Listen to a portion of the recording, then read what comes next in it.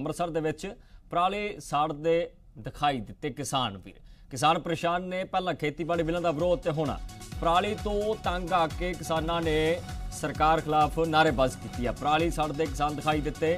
ਕਿਸਾਨ ਸਰਕਾਰ ਤੋਂ ਨਾਰਾਜ਼ ਨੇ ਕਿ ਸਰਕਾਰ ਸਾਡੇ ਲਈ ਕੁਝ ਵੀ ਨਹੀਂ ਕਰ ਰਹੀ। ਪਰਾਲੀ ਦੀ ਸਮੱਸਿਆ ਨੂੰ ਦੂਰ ਕਰਨ ਦੇ ਲਈ ਜੋ ਕਦਮ ਨੇ, ਇਹ ਚੁੱਕੇ ਜਾਣੇ, ਮੁਨਾਸਿਬ ਸਮਝੇ ਜਾਣ, ਪਰ ਸਰਕਾਰ ਕੋਈ ਨਾ ਕੋਈ ਹੱਲ ਇਸ ਮਾਮਲੇ ਤੇ ਦਵੇ।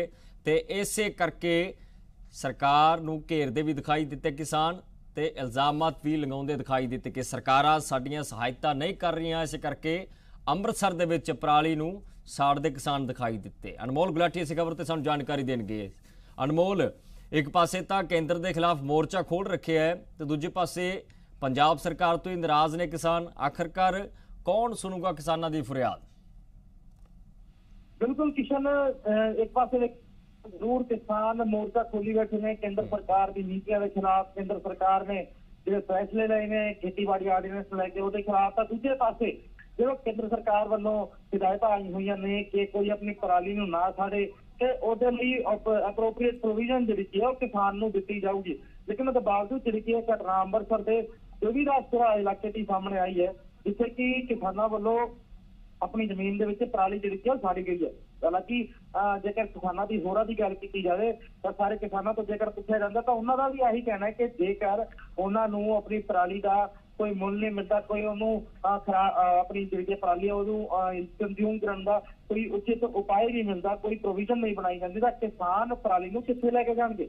ਤਾਂ ਇਹ ਸਾਰੀ ਚੀਜ਼ਾਂ ਨੂੰ ਲੈ ਕੇ ਜਿਹੜਾ ਕਿ ਅੱਜ ਜਿੱਥੇ ਕਿ ਇੱਕ ਪਾਸੇ ਜੋਰਾ ਸ਼ੋਰ ਨਾਲ ਰੇਲ ਰੋਕੋ ਅੰਦੋਲਨ ਕੀਤਾ ਜਾ ਰਿਹਾ ਸੀਗਾ ਦੂਜੇ ਪਾਸੇ ਦੇਵੀਦਾਸਪੁਰਾ ਦੇ ਵਿੱਚ ਹੀ ਪਰਾਲੀ ਜਿਹੜੀ ਕਿ ਕਿਸਾਨਾਂ ਵੱਲੋਂ ਸਾੜੀ ਗਈ। ਜੀ ਕਿਸ਼ਨ ਅਨਮੋਲ ਹੱਲ ਕੀ ਦੇਖਿਆ ਜਾਵੇ? ਲਗਾਤਾਰ ਤਾਂ ਸਰਕਾਰ ਨੂੰ ਘੇਰਦੇ ਕਿਸਾਨ ਦਿਖਾਈ ਦੇ ਰਹੇ ਨੇ ਪਰ ਹੱਲ ਕੀ ਦੇਖੀਏ ਇਸ ਚੀਜ਼ ਦਾ? ਹਾਲਾਂਕਿ ਸਰਕਾਰ ਵੀ ਲਗਾਤਾਰ ਕੇਂਦਰ ਨੂੰ ਇਸ ਮਾਮਲੇ ਤੋਂ ਜਾਣੂ ਕਰਵਾ ਚੁੱਕੀ ਹੈ ਕਿ ਸਬਸਿਡੀ ਜਾਂ ਇਸ ਮਾਮਲੇ ਤੇ ਕੇਂਦਰ ਵੀ ਵਿਚਾਰ ਕਰੇ ਕਿ ਕਿਸ ਤਰ੍ਹਾਂ ਦੇ ਜਿਹੜੇ ਉਪਰਾਲੇ ਨੇ ਉਹ ਕੀਤੇ ਜਾਣ। ਪਰ ਹੱਲ ਕੀ ਦੇਖਦੇ ਹੋ ਇਸ ਦਾ ਕਿ ਲਾਈਫ ਟਾਈਮ ਹੱਲ ਕੀ ਦੇਖਿਆ ਜਾਵੇ? ਹਾਲਾਂਕਿ ਕਈ ਤਰ੍ਹਾਂ ਦੇ ਜਿਹੜੇ ਫਾਰਮੂਲੇ ਸੀ ਉਹ ਇੰਪਲੀਮੈਂਟ ਕਰਨ ਦੀ ਗੱਲ ਕਹੀ ਗਈ ਕਿ ਪਰਾਲੀ ਨੂੰ ਥਰਮਲ ਪਲਾਂਟਾਂ ਦੇ ਵਿੱਚ ਵੀ ਵਰਤਿਆ ਜਾ ਸਕਦਾ ਹੈ। ਬਿਜਲੀ ਉਤਪਾਦਨ ਦੇ ਲਈ ਇਹ ਲਾਹੇਵੰਦ ਸਾਬਤ ਹੋ ਸਕਦਾ ਹੈ। ਜੀ ਬਿਲਕੁਲ ਕਾਫੀ ਇਹੋ ਜਿਹੀ ਚੀਜ਼ਾਂ ਨੇ ਜਿੱਥੇ ਕਿ ਪਰਾਲੀ ਨੂੰ ਇਸਤੇਮਾਲ ਕੀਤਾ ਜਾ ਸਕਦਾ ਹੈ। ਕਾਫੀ ਚੀਜ਼ਾਂ ਨੇ ਜਿੱਥੇ ਕਿ ਪਰਾਲੀ ਤੋਂ ਇੱਕ ਵਧੀਆ ਕਿਹਾ ਜਾ ਸਕਦਾ ਕਿ ਉਹਨੂੰ ਕੰਜ਼ੂਮ ਕਰਕੇ ਉਹਦੇ ਨਾਲ ਇੱਕ ਵਧੀਆ એનર્ਜੀ ਦਾ ਸੋਰਸ ਬਣਾਇਆ ਜਾ ਸਕਦਾ ਲੇਕਿਨ ਸਭ ਤੋਂ ਵੱਡੀ ਗੱਲ ਇਹ ਹੈ ਕਿ ਉਹ ਜੀ ਟੈਕਨੋਲੋਜੀ ਜਿਹੜੀ ਕਿ ਅਜੇ ਤੱਕ ਸਰਕਾਰ ਵੱਲੋਂ ਇੰਟਰੋਡਿਊਸ ਨਹੀਂ ਕੀਤੀ ਗਈ ਤੇ ਸਭ ਤੋਂ ਵੱਡੀ ਗੱਲ ਹੈ ਉਹ ਟੈਕਨੋਲੋਜੀ ਜਿਹੜੀ ਕਿ ਕਿਸਾਨਾਂ ਤੱਕ ਨਹੀਂ ਪਹੁੰਚ ਰਹੀ। ਪਹਿਲੀ ਗੱਲ ਤਾਂ ਇਹ ਹੈ ਕਿ ਜੇਕਰ ਸਰਕਾਰ ਟੈਕਨੋਲੋਜੀ ਨੂੰ ਡਿਵੈਲਪ ਕਰੇ, ਤੇ ਦੂਜੀ ਗੱਲ ਹੈ ਟੈਕਨੀਕਲ ਨੋਹਾਉ ਜਿਹੜੀ ਕਿ ਟੈਕਨੀਕਲ ਨੌਲੇਜ ਹੈ, ਉਹ ਕਿਸਾਨ ਨੂੰ ਨਹੀਂ ਹੈ। ਜੇਕਰ ਕਿਸਾਨ ਨੂੰ ਟੈਕਨੀਕਲ ਨੌਲੇਜ ਹੀ ਨਹੀਂ ਹੋਏਗੀ, ਜਾਂ ਫਿਰ ਉਹਨਾਂ ਨੂੰ ਅਵੇਅਰ ਨਹੀਂ ਕਰਾਇਆ ਜਾਏਗਾ ਤੇ ਕੀ ਫਾਇਦਾ ਇਹੋ ਜੀ ਇਹ ਜਿਹੜੀ ਪਾਲਿਸੀਜ਼ ਨੇ ਇਹਨਾਂ ਨੂੰ ਇੰਪਲੀਮੈਂਟ ਕਰ ਲਿਆਉਣ ਦਾ। ਪਾਲਿਸੀ ਦੀ ਗੱਲ ਕੀਤੀ ਜਾਵੇ ਕਿਸ਼ਨ ਤਾਂ ਪਾਲਿਸੀ ਲੈ ਜ਼ਰੂਰ ਜਾਂਦੀ ਹੈ ਲੇਕਿਨ ਉਹਨੂੰ ਇੰਪਲੀਮੈਂਟ ਕਰਨ ਦੇ ਲਈ ਕੋਈ ਅਹ, ਜਿਹੜੇ ਕੀ ਹੈ ਐਫਰਟ ਜਿਹੜੇ ਕਿ ਸਰਕਾਰ ਵੱਲੋਂ ਨਹੀਂ ਲਾਇਆ ਜਾ ਰਿਹਾ ਜਿਹਨੂੰ ਲੈ ਕੇ ਕਿਸਾਨ ਦੇ ਕੋਲ ਆਖਰੀ ਜਿਹੜਾ ਕੀ ਆਪਸ਼ਨ ਬਚਦਾ ਹੈ ਕਿ ਉਹ ਪਰਾਲੀ ਨੂੰ ਸਾੜ ਦਿੰਦਾ ਕਿਉਂਕਿ ਅਹ, ਕੀ ਜਿਹੜਾ ਕਿ ਕਿਵੇਂ ਉਹਨੂੰ ਉਸ ਪਰਾਲੀ ਨੂੰ ਸਾਂਭ ਕੇ ਰੱਖੇ ਉਹਦੇ ਲਈ ਵੀ ਸਰਕਾਰ ਦੇ ਕੋਲ ਕੋਈ ਜਵਾਬ ਨਹੀਂ ਹੈ ਕਿ ਕਿਸਾਨ ਨੂੰ ਕੋਈ ਜਵਾਬ ਦਿੱਤਾ ਜਾਵੇ। ਉਚਿਤ ਇੱਕ ਉਪਾਅ ਦਿੱਤਾ ਜਾਵੇ ਕਿ ਕਿਸਾਨ ਆਪਣੀ ਪਰਾਲੀ ਨੂੰ ਐਦਾਂ ਯੂਜ਼ ਕਰ ਸਕਦਾ ਹੈ। ਕੰਜ਼ਿਊਮ ਜੇਕਰ ਕੀਤਾ ਜਾਵੇ ਤਾਂ ਥਰਮਲ ਪਲਾਂਟ ਦੇ ਵਿੱਚ ਵੀ ਕੰਜ਼ਿਊਮ ਕੀਤਾ ਜਾ ਸਕਦਾ ਤੇ ਹੋਰ ਵੀ ਜਿੰਨੇ ਵੀ એનર્ਜੀ ਸੋਰਸਸ ਨੇ ਉਹਦੇ ਲਈ ਪਰਾਲੀ ਨੂੰ ਇਸਤੇਮਾਲ ਕਰਕੇ ਕਾਫੀ ਕੁਝ ਚੀਜ਼ਾਂ ਦੇ ਲਈ ਇਸਤੇਮਾਲ ਕੀਤਾ ਜਾ ਸਕਦਾ ਲੇਕਿਨ ਕਿਉਂਕਿ ਸਰਕਾਰ ਵੱਲੋਂ ਕੋਈ ਉਚਿਤ ਜਿਹੜਾ ਕੀ ਹੈ ਇਹਨਾਂ ਨੂੰ ਟਰਾਂਸਪੋਰਟੇਸ਼ਨ ਨਹੀਂ ਦਿੱਤੀ ਜਾ ਰਹੀ ਕਿਉਂਕਿ ਜੇਕਰ ਪਰਾਲੀ ਨੂੰ ਕਿਤੇ ਪਹੁੰਚਾਉਣਾ ਵੀ ਹੈ ਤਾਂ ਉਹਦੇ ਲਈ ਵੀ ਅਹ, ਜਿਹੜੇ ਕੀ ਐਫਰਟ ਨੂੰ ਸਰਕਾਰ ਨੂੰ ਲੈਣੇ ਪੈਣਗੇ। ਜਾਂ ਫਿਰ ਪੈਸੇ ਜਿਹੜੇ ਕੀ ਹੈ ਕਿ ਅਮਾਉਂਟ ਕੋਈ ਜਿਹੜੇ ਕੀ ਰਾਸ਼ੀ ਜਿਹੜੀ ਕੀ ਕਿਸਾਨਾਂ ਨੂੰ ਇਸ ਪਰਾਲੀ ਦੇ ਲਈ ਦੇਣੀ ਪਏਗੀ। ਲੇਕਿਨ ਜਿਹੜੇ ਕੀ ਸਰਕਾਰ ਵੱਲੋਂ ਇਹੋ ਕੋਈ ਐਫਰਟ ਨਹੀਂ ਲਿਆ ਜਾ ਰਿਹਾ। ਅਨਮੋਲ ਇੱਕ ਪਾਸੇ ਕੇਂਦਰ ਦੇ ਖੇਤੀਬਾੜੀ ਬਿੱਲਾਂ ਦਾ ਵਿਰੋਧ ਹੋ ਰਿਹਾ ਹੈ ਤਾਂ ਦੂਜੇ ਪਾਸੇ ਪਰਾਲੀ ਨੂੰ ਲੈ ਕੇ ਕਿਸਾਨ ਪਰੇਸ਼ਾਨ ਨੇ। ਕੇਂਦਰ ਦੇ ਖੇਤੀਬਾੜੀ ਬਿੱਲਾਂ ਨੂੰ ਲੈ ਕੇ ਸਰਕਾਰ ਲਗਾਤਾਰ ਕਹਿ ਰਹੀ ਹੈ ਕਿ ਪ੍ਰਾਈਵੇਟ ਜੋ ਕਾਰਪੋਰੇਟ ਘਰਾਣੇ ਨੇ, ਉਹ ਖੇਤੀਬਾੜੀ ਦੇ ਵਿੱਚ ਉਹ ਐਂਟਰੀ ਕਰਨਗੇ, ਕਿਸਾਨਾਂ ਦੀਆਂ ਸਮੱਸਿਆਵਾਂ ਸੁਣਨਗੇ, ਕਿਸਾਨਾਂ ਦੀ ਫਸਲ ਨੂੰ ਖਰੀਦ ਸਕਣਗੇ ਤੇ ਜੋ ਉਪਕਰਨ ਨੇ, ਉਹ ਕਿਸਾਨਾਂ ਨੂੰ ਮੁਹੱਈਆ ਵੀ ਕਰਵਾਏ ਜਾਣਗੇ, ਜੋ ਕਾਰਪੋਰੇਟ ਘਰਾਣੇ ਐਂਟਰੀ ਕਰਨਗੇ। ਪਰ ਕੀ ਦੇਖਿਆ ਜਾਵੇ, ਇੱਕ ਪਾਸੇ ਕਿਸਾਨ ਸਰਕਾਰਾਂ ਤੋਂ ਨਿਰਾਸ਼ ਨੇ, ਦੂਜੇ ਪਾਸੇ ਇਹਨਾਂ ਬਿੱਲਾਂ ਨੂੰ ਲੈ ਕੇ ਸਰਕਾਰ ਲਗਾਤਾਰ ਕਹਿ ਰਹੀ ਹੈ ਕਿ ਜੋ ਜੋ ਕਾਰਪੋਰੇਟ ਘਰਾਣੇ ਕੇਂਦਰ ਦੇ ਖੇਤੀਬਾੜੀ ਆਰਡੀਨੈਂਸ ਦੀ ਪਾਲਣਾ ਕਰਕੇ ਕਿਸਾਨਾਂ ਦੀ ਫਸਲ ਖਰੀਦਣਗੇ। ਉਹ ਕਿਸਾਨਾਂ ਦੀਆਂ ਸਮੱਸਿਆ ਵੀ ਸਮੱਸਿਆਵਾਂ ਦਾ ਵੀ ਹੱਲ ਕੱਢਣਗੇ ਨਾ। ਇਸ ਮਾਮਲੇ ਤੇ ਕਿਵੇਂ ਦੇਖਦੇ ਹੋ? ਇੱਕ ਪਾਸੇ ਸਰਕਾਰ ਤੋਂ ਪਰੇਸ਼ਾਨ ਤਾਂ ਦੂਜੇ ਪਾਸੇ ਲਗਾਤਾਰ ਸਰਕਾਰ ਨਵੇਂ ਖੇਤੀਬਾੜੀ ਬਿੱਲ ਇੰਟਰੋਡਿਊਸ ਕਰਵਾ ਰਹੀ ਹੈ।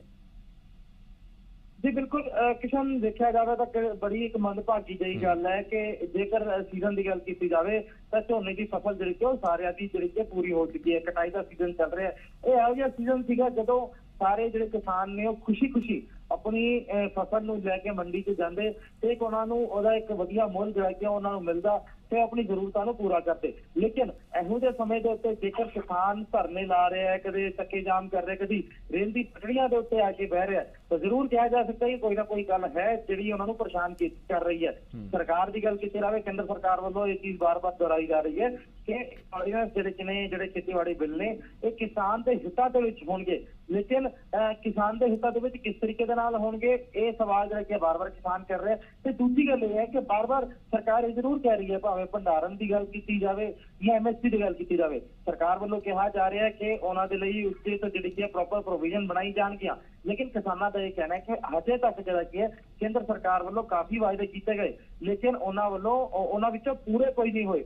ਜਿਹਨੂੰ ਲੈ ਕੇ ਇਨ ਵਜ੍ਹਾ ਤੋਂ ਵੀ ਜਿਹੜੇ ਕੀ ਹੈ ਵਾਅਦਾ ਖਿਲਾਫੀ ਦਾ ਡਰ ਜਿਹੜਾ ਕਿਸਾਨਾਂ ਨੂੰ ਸਤਾ ਰਿਹਾ ਹੈ ਤੇ ਹੁਣ ਜਿਹਦੇ ਕਰਕੇ ਕਿਸਾਨ ਹੁਣ ਜਿਹੜੇ ਕਿ ਧਰਨੇ ਤੇ ਬੈਠੇ ਹੋਏ ਨੇ ਕਿਹਾ ਜਾ ਸਕਦਾ ਕਿ ਕੇਂਦਰ ਸਰਕਾਰ ਤੋਂ ਜਿਹੜਾ ਕਿਸਾਨਾਂ ਦਾ ਇੱਕ ਭਰੋਸਾ ਹੋਣਾ ਚਾਹੀਦਾ ਸੀਗਾ ਉਹ ਭਰੋਸਾ ਕਿਸਾਨ ਜਿਹੜੇ ਕੀ ਨੇ ਕਿਸਾਨ ਜਥੇਬੰਦੀਆਂ ਜਿਹੜੀਆਂ ਨੇ ਉਹ ਕੇਂਦਰ ਸਰਕਾਰ ਤੋਂ ਖੋ ਚੁੱਕੇ ਹਨ ਅਨਮੋਲ ਬੇਭਰੋਸਗੀ ਕੇਂਦਰ ਤੇ ਵੀ ਹੈ ਪੰਜਾਬ ਦੀ ਸਰਕਾਰ ਤੇ ਵੀ ਹੈ ਤਾਂ ਫਿਰ ਭਰੋਸਾ ਕਿਸ ਤੇ ਕਰਨ ਕਿਸਾਨ? ਆਖਰਕਾਰ ਜੋ ਭਰੋਸਗੀ ਦੀ ਇੱਕ ਹੱਦ ਹੁੰਦੀ ਹੈ, ਉਹ ਤਾਂ ਕ੍ਰੋਸ ਹੋ ਚੁੱਕੀ ਹੈ। ਨਾ ਹੁਣ ਕੇਂਦਰ ਤੇ ਭਰੋਸਾ ਕਰ ਸਕਦੇ ਨੇ। ਪੰਜਾਬ ਦੀ ਸਰਕਾਰ ਨੂੰ ਵੀ ਲੈ ਕੇ ਕਿਸਾਨ ਲਗਾਤਾਰ ਕਹਿ ਰਹੇ ਨੇ ਕਿ ਸਾਨੂੰ ਤਾਂ ਪਰਾਲੀ ਲਗਾਤਾਰ ਅਸੀਂ ਸਾੜਨ ਲਈ ਮਜਬੂਰ ਆ, ਨਾ ਕੋਈ ਭੱਤਾ, ਨਾ ਕੋਈ ਪੈਸਾ ਸਰਕਾਰ ਦੇ ਰਹੀ ਹੈ। ਤਾਂ ਫਿਰ ਭਰੋਸਾ ਕਿਸ ਤੇ ਕਰਨ?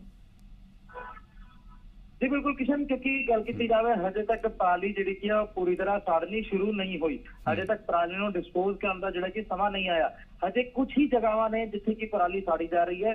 ਇੱਕ ਦੋ ਕੇਸ ਹੀ ਜਿਹੜੇ ਕਿ ਨੇ ਸਾਹਮਣੇ ਆਏ ਨੇ ਲੇਕਿਨ ਆਉਣ ਵਾਲੇ ਸਮੇਂ ਦੇ ਵਿੱਚ ਜੇਕਰ ਕੋਈ ਉਚਿਤ ਉਪਾਅ ਜੇਕਰ ਕੋਈ ਪ੍ਰੋਪਰ ਪ੍ਰੋਵੀਜ਼ਨ ਸਰਕਾਰ ਵੱਲੋਂ ਪੰਜਾਬ ਸਰਕਾਰ ਵੱਲੋਂ ਜਾਂ ਫਿਰ ਕੇਂਦਰ ਸਰਕਾਰ ਵੱਲੋਂ ਨਹੀਂ ਕਿਸਾਨਾਂ ਨੂੰ ਦਿੱਤੀ ਜਾਂਦੀ ਤਾਂ ਆਉਣ ਵਾਲੇ ਸਮੇਂ ਦੇ ਵਿੱਚ ਜਿਵੇਂ ਕਿ ਪਿਛਲੇ ਸਾਲ ਇਸ ਇਸੀ ਸੀਜ਼ਨ ਦੇ ਵਿੱਚ ਦਿੱਲੀ ਤੇ ਹਰਿਆਣਾ ਤੇ ਪੰਜਾਬ ਦੇ ਲੋਕਾਂ ਨੂੰ ਇੱਕ ਕਾਫੀ ਜ਼ਿਆਦਾ ਸਮੋਕ ਦਾ ਸਾਹਮਣਾ ਕਰਨਾ। ਪਿਆ ਸੀਗਾ। ਉਹੀ ਸਮੋਕ ਦਾ ਸਾਹਮਣਾ ਅੱਜ ਵੀ ਕਰਨਾ ਪੈ ਸਕਦਾ ਹੈ। ਦੂਜੇ ਪਾਸੇ ਜਿਹੜੇ ਕਿਸਾਨਾਂ ਦੀ ਗੱਲ ਕੀਤੀ ਜਾਵੇ ਤਾਂ ਪੰਜਾਬ ਸਰਕਾਰ ਪੰਜਾਬ ਦੀ ਕਾਂਗਰਸ ਜ਼ਰੂਰ ਕਿਸਾਨਾਂ ਦੇ ਨਾਲ ਖੜੀ ਹੈ।